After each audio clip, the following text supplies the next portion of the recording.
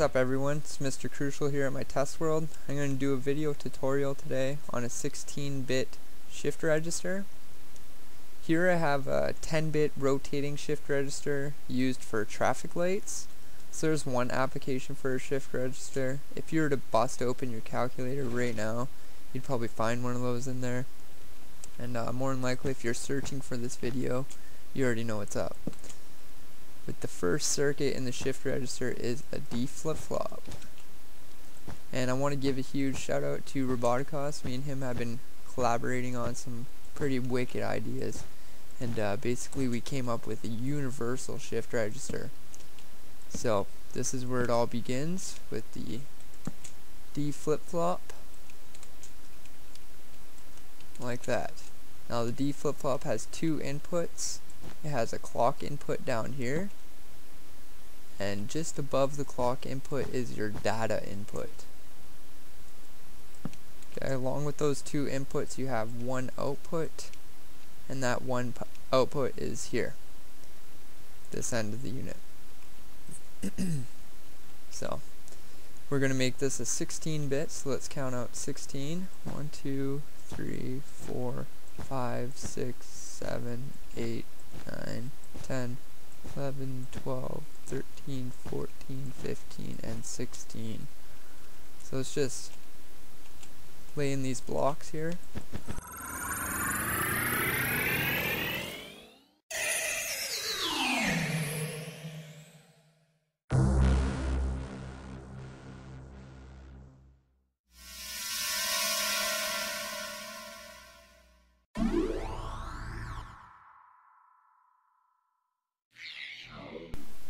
Alright, now that we have all the blocks in place, we can smash out the unnecessary pieces.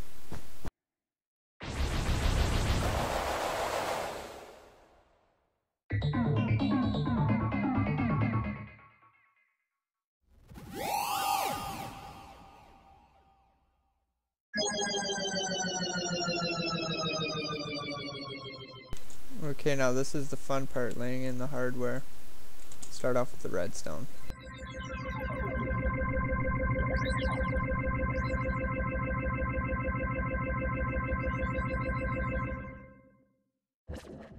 And then finally the torches.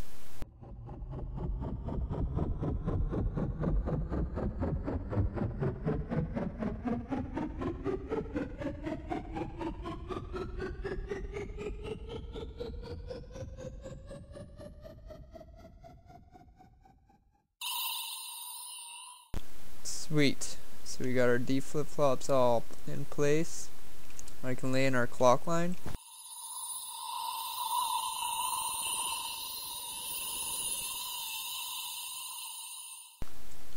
Okay, now we're going to hook up a monostable circuit to this clock line here because it requires a short pulse.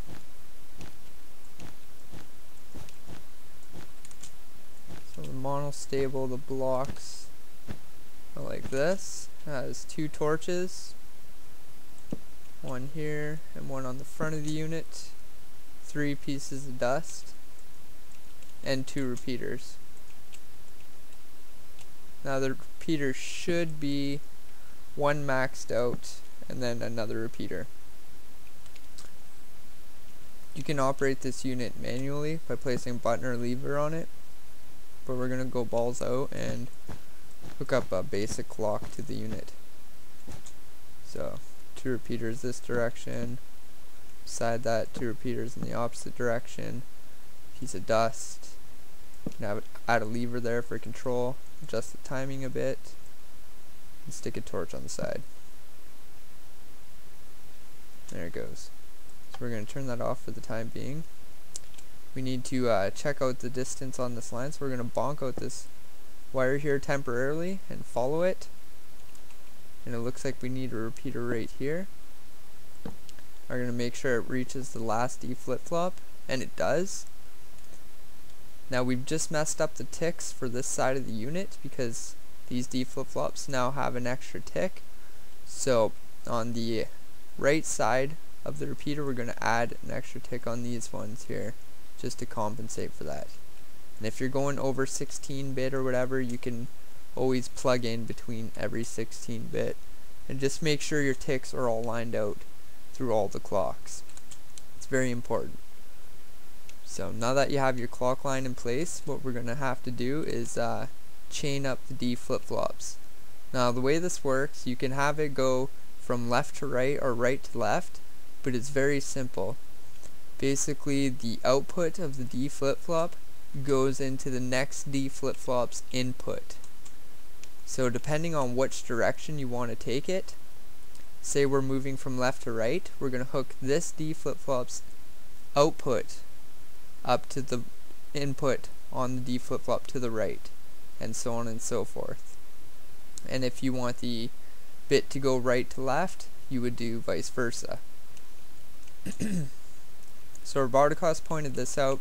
It's a very easy way to stick the to hook them up basically to go from uh, output to input there's a very simple way of doing that and that's utilizing this top line here basically um, we extend it out a little ways. And we're going to use a torch. Like that. And basically the line is going to drop down right into the next unit's input. Perfectly. Now here's the trick on the next unit here. We're going to have to uh, extend it out one extra block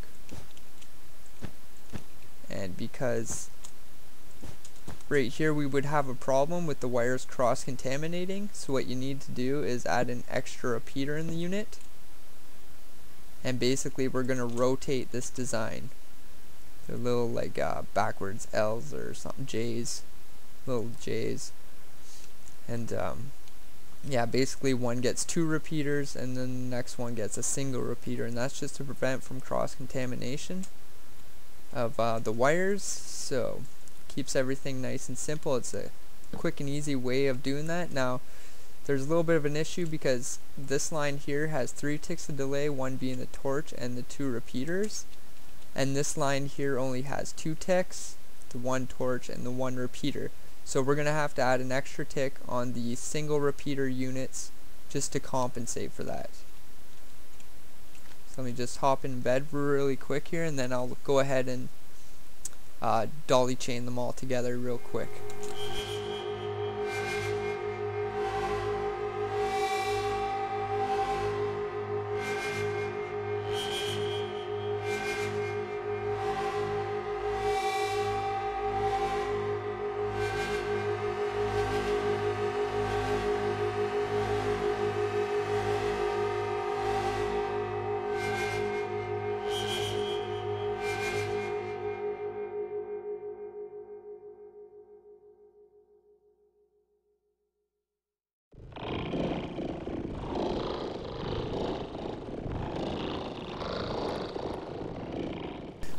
Alright, so now that the shift registers are dolly chained together, we're going to run some tests on this baby.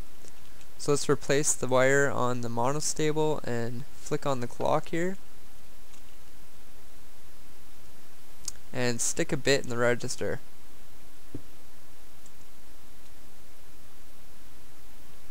Okay, what I'm noticing here, this glitch right here isn't supposed to happen, that's a timing issue. So we're going to refer back to our monostable. And I left room for customization, so we're going to add another tick in there. The bigger you go with this circuit, the more tick on the monostable you might require. And it looks like it's working now. The bit is shifting from right to left, and it's going to shift out of the register right out. So that that's called serial out. So the shift register is definitely working. You can add your bits in there. As it goes along. Wherever you want to add them really it's up to you. And basically they're going to shift parallel out. So that's pretty sweet. Now next thing we're going to wire up will be the reset. So the reset's pretty easy. Basically, you just need to zap these cables our wires up here with power and we can zap two of them at a time with one torch very simply so let me just lay in the blocks for the reset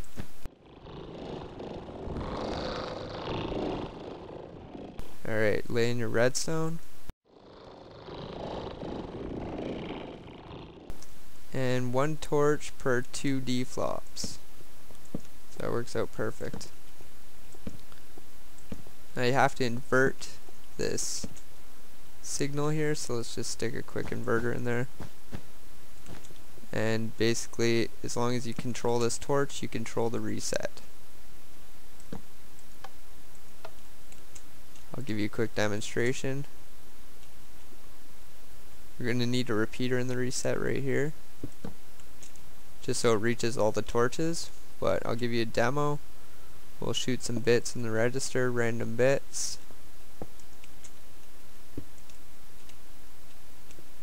You can see that the bits are being represented on the outputs. We'll turn on the clock. The bits are shifting from right to left and they're going to shift parallel out. To stop the clock. And there's still bits in my register. Say I want to reset it. You can have a pulse on this. Doesn't have to be a lever. Oops. But flick that line up there and it resets the unit for you. So that's really cool. Now another thing I like to do to this shift register is make it rotating if you need an oscillating circuit but uh, it's really simple basically the last D flop in the unit. We're going to extend its output out and we're going to wrap it around the back of the unit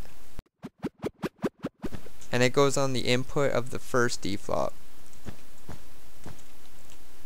Now come out the side rather than the back this time and we're doing this for a reason. We only want to add one repeater whereas if we came out the back we would need the second re repeater here for to prevent the cross contamination. But we're only going to use a single repeater. And the reason for that being is because we need to match the three ticks of delay between each D-flop. So let's run this line. Now this line does require an inverter. So we're going to stick our first tick of delay right here. That's one tick. The inverter being here will be the second tick. And then the third repeater here is the third tick. Or second repeater there is the third tick. If that made sense. It's to match the delay in between each D flip-flop. So that's how that's done. Now it's a rotating um, shift register. We can uh, extend our outputs adding torches here if we want. Gives us more room to play. In the future for when we expand on this. But the clock is now hooked up the rotating feature is hooked up and the reset kinda wish I wired up my clock on this side now but it's very easy to do let me just turn on my clock and let's see a bit rotate. Okay, so all the bits are reset.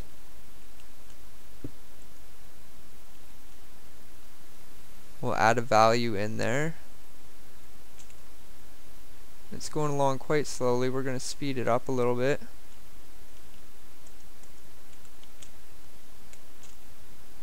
Okay, here it comes.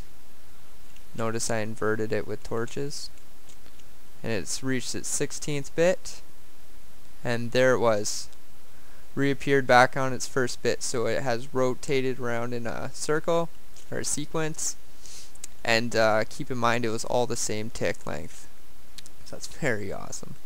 Super duper awesome.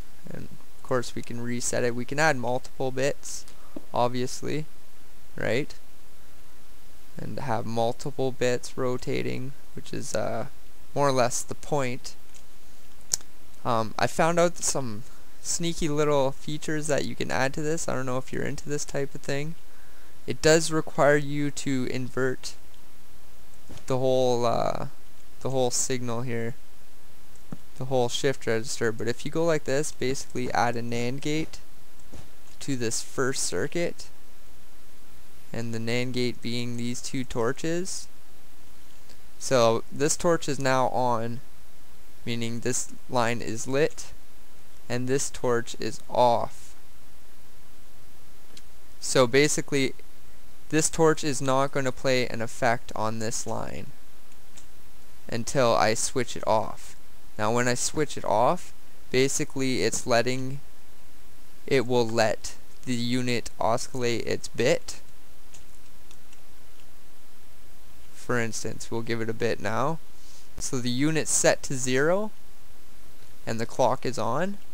We'll give it a bit and that's the reason why I inverted the signal. Now you can see my data.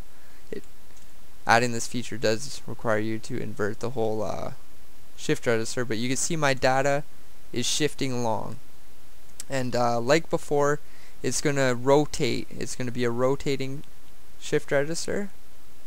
So there it has reappeared. I'll add multiple bits.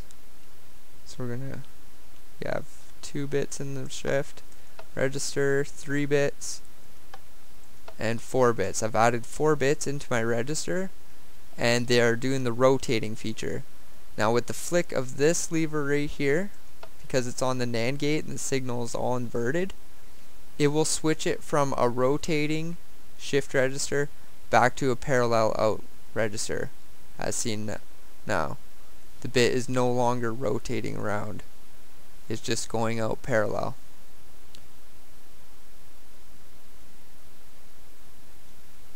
So that's a simple way to add that feature as well. NAND gate. And I think that about wraps it up for my first video on shift registers keep in mind I'm going to make this bi-directional in the future. Me and Roboticos I'm working pretty hard to make it universal and this is just one of the core components of it. This thing's going to get pretty big and gnarly but awesome with features. So hope you guys build along and like the video, rate, comment, and subscribe. Definitely check out Roboticos channel as well. Peace y'all.